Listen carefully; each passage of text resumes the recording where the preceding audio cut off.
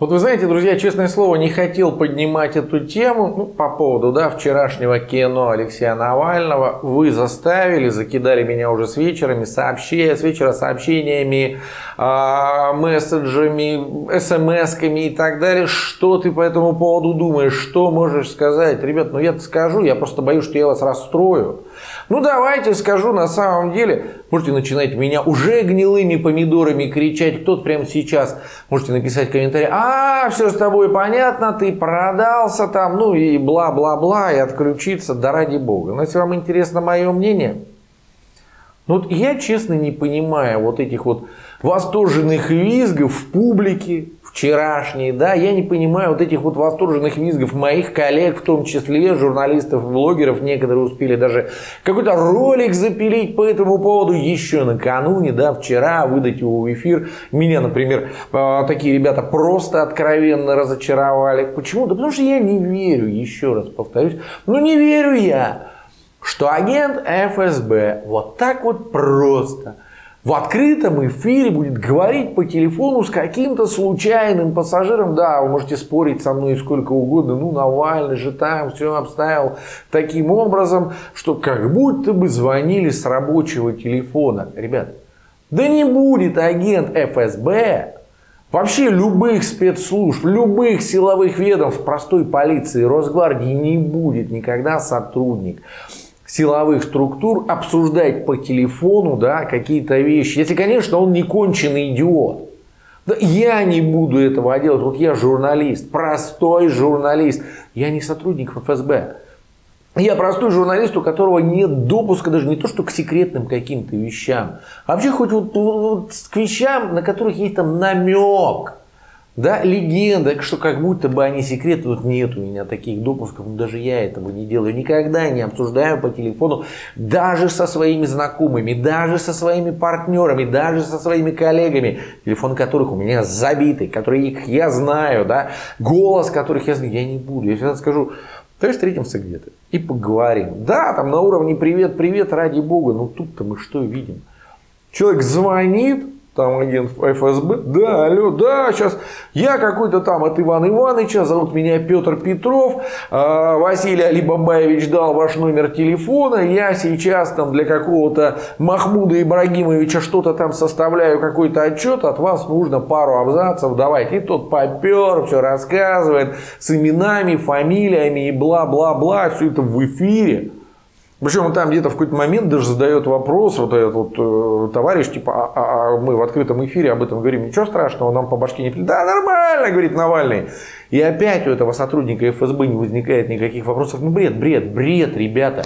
Так не бывает, так... это нереально.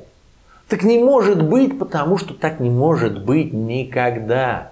Да, кто-то мне может опять же возразить какой-нибудь безграмотный товарищ, который понятия не имеет, да, что такое силовые структуры, что такое спецслужбы, который об этом только в кино видел. Ну там в 7 утра позвонили, реально знакомый телефон. Ребят, мы говорим не про Васю Кукарекина. Мы говорим о сотруднике ФСБ. Их там как собак натаскивают.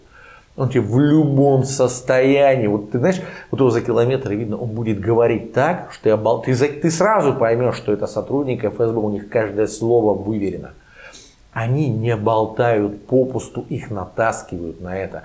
Я, да, а, человек, который когда-то учился на офицера, я закончил Суворовское училище, у меня огромное огромное количество друзей детства, да, при погонах, и есть в том числе люди, которые служат в ФСБ до сих пор. Вот мы с ними встречаемся, там иногда по праздникам, вот 19 декабря у нас был праздник, День Суворовского училища, опять там встречались с ребятами.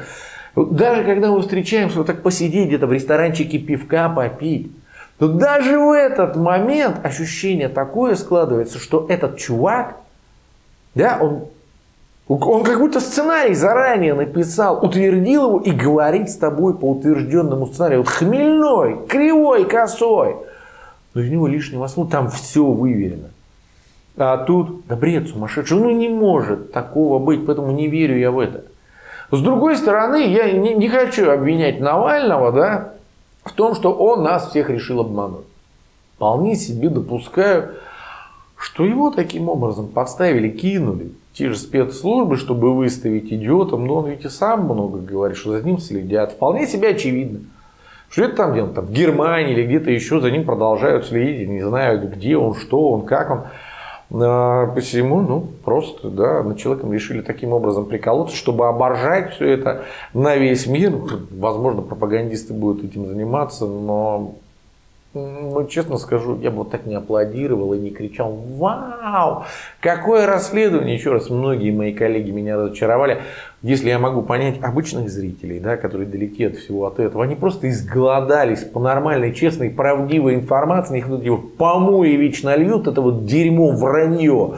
Им хочется какой-то альтернативной точки зрения, душа требует, да, и они готовы в это поверить. Тут своих коллег я не понимаю.